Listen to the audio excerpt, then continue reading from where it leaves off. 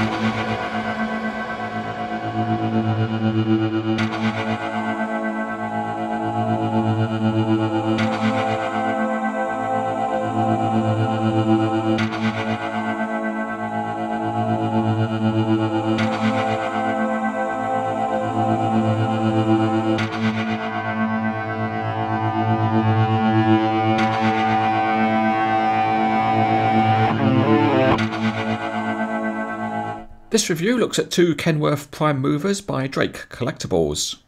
Model Z013735 is a K200 in the colours of Mactrans, and Model Z013730 is a T909 in the colours of Membreys.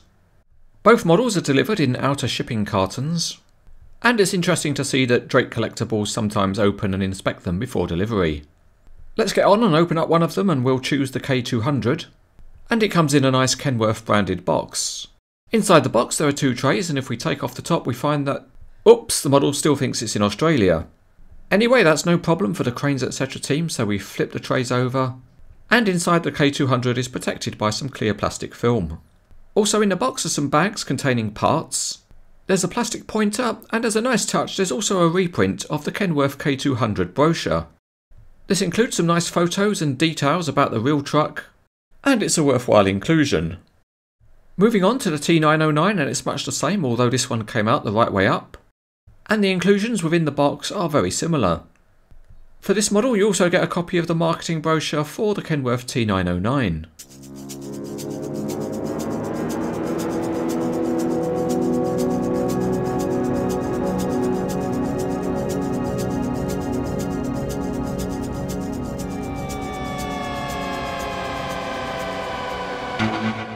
Assembly of both models is similar and the first thing to do is just to apply the mirrors to the cab.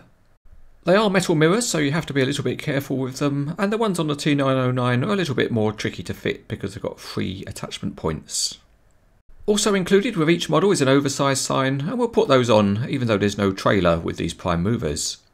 One other thing on both models is that there are coiled lines but they tend to wave about quite a bit and there's nothing to plug them into so to tidy it up, we'll add a little bit of plastic putty and then press the ends of the coiled lines into it.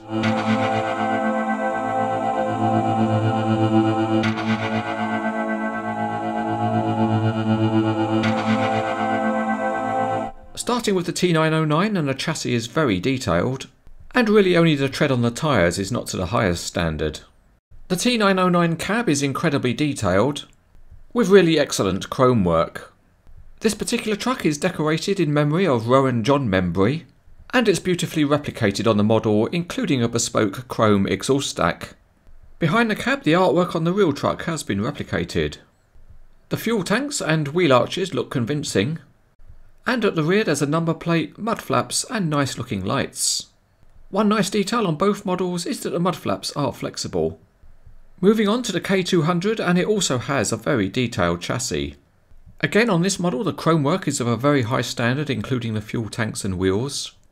And the K200 cab looks great with its lights and distinctive front radiator. The graphics, chrome work and fine detailing around the cab are top quality.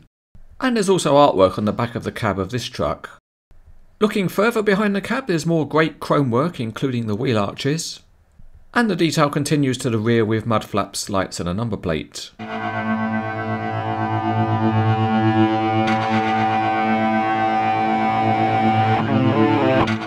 Out we go onto the Cranes etc. highway, and the T909 rolls reasonably well, although it's not free rolling. The wheels on the rear axles all spin together, and a very nice feature of the model is that it has fully sprung suspension. Moving to the front there is working steering, although it is notched rather than being infinitely variable, and there's suspension on the front wheels too.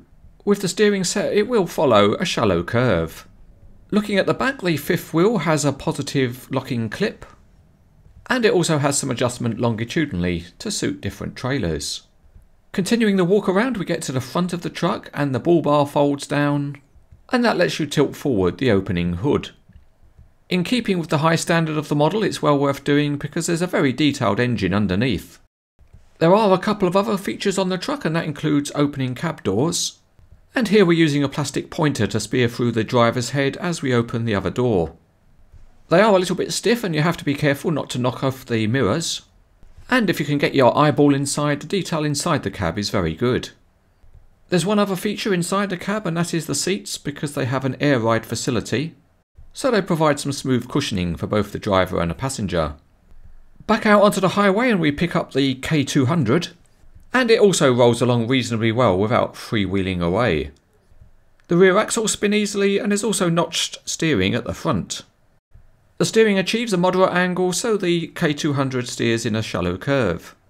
The model features working suspension and you have to wonder what's going on inside that sleeper cab.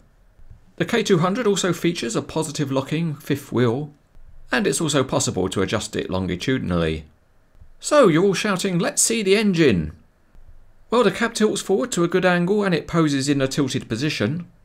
And again, there's a high quality detailed engine to be seen underneath. The other feature the model also shares with the T909 is opening cab doors. And again, the pointer is useful because of the close fit. And also so that you can bounce the seats up and down.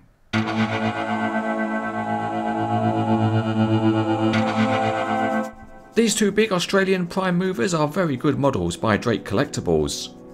They are very highly detailed with excellent chrome graphics and paintwork, and the features are very good too. Certainly if you're into big heavy haulage, these are outstanding models.